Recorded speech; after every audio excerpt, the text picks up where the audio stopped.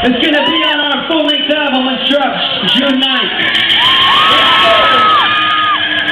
And it goes out to all the naysayers in this world, to all the haters, to all those people that never believed in any of our dreams.